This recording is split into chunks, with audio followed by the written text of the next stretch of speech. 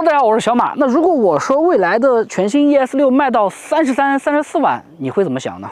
可不敢胡说啊！可能对于老的未来车主来说呢，这一刻呢内心是非常的抓狂的；但是对于那些持币观望的用户来说呢，这一刻啊可以算是非常的兴奋的啊！未来的 ES 六如果能卖到这么便宜的话呢，确实我相信它的销量也是非常可观的。那至于这个车究竟卖多少钱呢？相信这一刻呢，你已经知道价格了，因为这款车型将在今天晚上。正式发布，它的价格究竟如何呢？我暂不得而知啊。这款车竞品呢，它是理想的 L 七或者是呃 BBA 当中的宝马的 X 三或者是奔驰的 GLC 等等等等啊。当然了，如果再牵强一点的话呢，我觉得它的竞品还能算得上是毛皮 Y 啊，不对，是 Model Y 啊。开个玩笑，那就让我们看一下这款车型究竟有没有实力和我刚刚说的那几款车型进行角逐呢？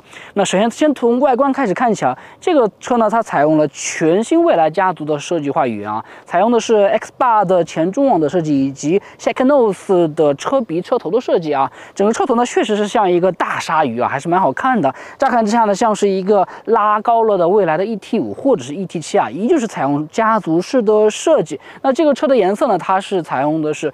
同温层蓝的配色，那值得一提是，这这个车的配色呢，它是不需要加价的。那相较于老款车型，之所以它能够更进一步压低价格呢，是因为这个车型呢，它减配掉了空气悬架，那但依旧保留了 CDC 的可变的悬架。那除了这个以外呢，这个车还增配了瞭望塔式的激光雷达，在它车顶的位置啊。那它把激光雷达放在车顶的位置有几个好处啊？首先呢，它的照射角度可以照得更远，而且呢，在车辆磕碰的时候也不容易碰到。但是呢，对于一些低矮的物质呢，可能就照不到了啊。这是它的这个优点或者是缺点。那么接着我们再到侧面看一下。那么来到这辆全新 ES 六的侧面可以看到啊，这个车的车高呢，它是降了五十五毫米。那并且呢，它的风阻系数呢也优化到了零点二五 CD，所以这么大体积的一台 SUV 呢也是非常难能可贵的。接着我们来看看它的一些其他细节啊。首先呢，这个车的长度呢，它是来到了四千八百五十四毫米啊，长度变长了。轴距呢更是加长到了两千九百一十五毫米啊，车内空间也变大了。那并且呢，这个车呢采用的是由未来自研的前置对向四活塞的刹车卡钳。那它的制动力我觉得还是不错的。接着看下这个门把手啊，隐藏式的门把手没什么好说，但是呢很有意思啊，你把手插进去。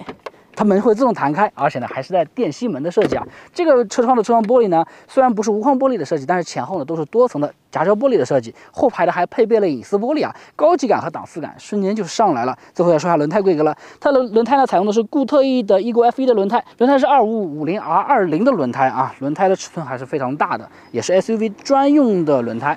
那么这条轮胎的价格呢，应该是蛮贵的。观望的小伙伴呢要考虑一下后期换轮胎的成本了。接着到车尾看一下吧。来到车尾啊，车尾的设计我还是蛮喜欢的啊，和未来的 E T 七也好，E T 五也罢啊，它们采用的都是类似贯穿式尾灯的设计，非常简洁啊。但是这个尾灯我觉得比保时捷的帕纳莫纳还要好看，贯穿式尾灯的设计非常有层次感，这里还有一点小凸起啊。确实好看极了。那除了这点以外呢，它延续了未来 E T 车型的刹车灯的设计啊，它这个刹车灯的宽度呢达到了八百六十四毫米啊，非常的醒目啊，防止后车分神或者是追尾啊。这个设计我觉得也是 OK 的。打开后备箱之后呢，可以看到后备箱的开口还是非常的大的。那这一刻呢，后备箱的容积来到了六百六十八升。如果把第二排座椅放倒之后呢，它的后备箱容积可以被拓展至一千四百三十升，你受得了吗？这个车家用它不香吗？绝对很香。来到这辆全新 ES 六的车内呢，整体的内饰的用料、豪华质感、品质感都是营造的非常棒的啊，而且还是非常有温度感的，有种家的感觉。而且呢，在前面有个逗比，不是前面有个 Nomi 啊，这个 Nomi 还是挺可爱的，我觉得像极了《龙珠》里的天神波波啊。我如果有一辆未来的车型的话呢，我一定会给他买一个天神波波同款的帽子给他戴上，太逗逼了，太有意思了，开个玩笑，也让这个车内的氛围呢感觉呃温馨了许多啊，像你的一个小伙伴或者是一个宠物一样。好，那么接着看一下这个车的内饰用料了，它采用的是再生藤木的环保用料啊，整个木纹的用料呢还是非常不错的。那整个中控台呢是采用的环抱式的双层中控台的设计啊。那整个座椅和中控台呢采用的都是 Napa 真皮的皮质包覆啊。呃，座椅的填充也非常棒啊，而且呢，呃，支撑也很到位，呃，手感是非常不错。的。一分价钱一分货嘛，对吧？高级感是有的。那接着说下这块十二点八英寸的多媒体屏了。这个多媒体屏呢，搭载的是八研二点零点零的系统啊，搭载的依旧是高通骁龙八幺五五的车机芯片。为了更进一步优化这个车机芯片的跟手性和屏幕的流畅度呢，呃，这个车的智能辅助驾驶芯片呢，采用的是最新 Orin X 加 X 的那套芯片啊，也就是把八幺五五的那那一部分的功能呢，全部给它摘出去了，让它专门去呃负责这一块车机系统，让它变得更加流畅和丝滑啊。这一点呢，我觉得也是非常人性化的。那下。下面呢是一个道可栏，上面呢是一个地图，流畅度非常棒。除了这点以外呢，你打开它的这个多功能的菜单，你会发现它多了一个游戏中心和视频投屏的功能啊。游戏中心的话呢，现在暂时是仅仅只有五款小游戏，但是我相信后期经过 FOTA 升级之后呢，它还会支持更多的游戏啊。那这个视频投屏的话呢，就是说你有一些外接设备想投屏、想打游戏的话呢，呃，想看电影的话呢，也可以进行手机无线投屏的方式进行投屏啊。这个功能我觉得也是比较实在的，毕竟它对标的是理想的 L7 嘛，对吧？这一点也是可以理解的。来到这辆蔚来 ES 六后排，可以看到啊，其实这个车呢，它是将地台更进一步下沉的，也让我的这个腿呢放在这个坐垫上非常舒服啊，不会有一种坐小板凳的感觉啊。呃，确实还不错啊。下沉之后呢，它的头部空间增加了七十五毫米，这是相较于老款车型所增加的空间啊，确实是呃空间变得非常大了。哪怕后排座一个一百八十五公分身高的小伙伴也完全 OK 没有问题。接着我们聊一聊腿部空间了啊。前排呢是我的驾驶座，腿部空间大概是有三拳多的余量啊，两千九百一十五毫米的轴距确实是非常的长了啊。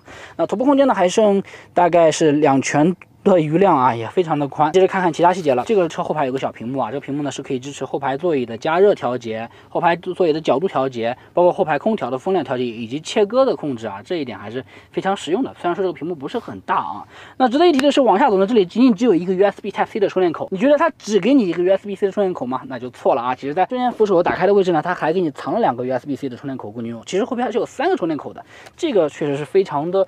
实用了。第二个说下这个车的天窗了，它的天窗呢达到了零点九八平方米，接近一平方米啊。其实它的呃开口面积呢已经来到了一点三平方米啊，确实是非常大呀。开阳缸也不错啊，已经到了。呃，后排乘客头部的上方了，让整个视野呢也变得非常的宽敞啊。整个后排呢，我觉得坐着还是非常的舒服的，包括这个坐垫的柔软度也是非常不错的啊，高级感瞬间上来了。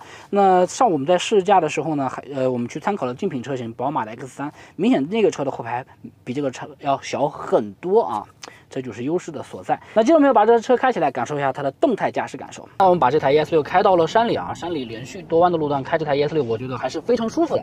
所以呢，我觉得这个车的循迹性啊，包括方向盘的指向性都是非常不错的，开起来非常的顺，也非常润啊。整个底盘在过弯的时候，它的侧倾也抑制的非常不错，运动属性还是非常棒的。这也是对于这么大一的一台 SUV 来说，我觉得也是非常少见的。而且这个车的重心，我觉得做的也是非常的低，可能是得益于它的底盘上被布局了电池啊，这一点确实是挺令我意外的。得益于这台车它搭载的是 CDC 的电磁悬架。所以说，我觉得它的底盘的舒适度和这个过弯的支撑呢，都是做的非常棒的，也是可以帮你去过滤到一些路面上的细小的细碎或者是颠簸的。但是呢，我不知道为什么屁股和脚底板上的这些震动全部被过滤到了，方向盘上却会有一些些震动啊，这个是很让我不能理解的。但是如果你不仔细感受的话呢，是感受不出来的。那这个车的刹车呢，它调的也是非常有意思的。为了防止你刹车刹到底，踏板踩到底之后呢，会产生刹车点头的现象啊，所以说呢，它在刹车的末端呢，采用了一个刹车制动力轻微释放的这么一样的一个效果啊。就像一些老司机啊，踩下刹车踏板踩到最后呢，会稍微弹一下再踩下去啊。这样的话呢，你的车就不会出现很明显的点头作用了。但是呢，这个触发机制呢也是要看的。如果你的刹车机制呢是一个急刹车，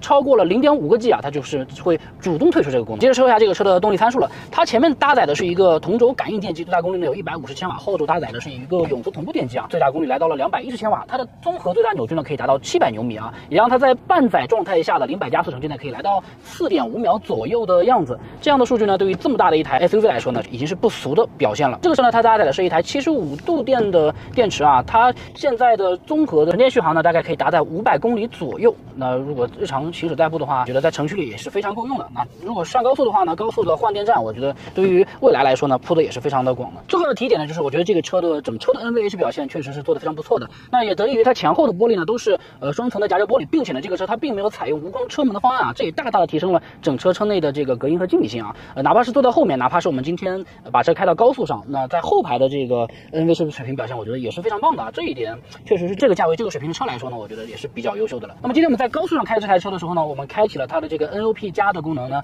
我觉得也是非常智能的，它可以主动去判断前面的路况，那是否是跟随前车还是。主动超车，而且呢，对于一些新手司机来说呢，也是可以极大的提升它的一些驾驶能力。那么整体来说呢，这台新款的蔚来 ES 六呢，我觉得开起来还是非常舒服的，也非常适合家用。那平时代步开着它也不会特别的累。那蔚来 ES 六呢，作为蔚来品牌的销量基石，也就是最走量的那款车型呢，可以说蔚来今年能不能成成败在此一举了。如果这个时候你还在持币观望，要去买宝马的 X3 或者是奔驰的 GLC 呢，我倒劝你一句啊，不如与时俱进，看看新能源车，看看可以换电的蔚来 ES 六。那我这里也学斌哥预言一句。我觉得未来 ES 六的销量呢，能够卖得比宝马 X 三好，我们拭目以待吧。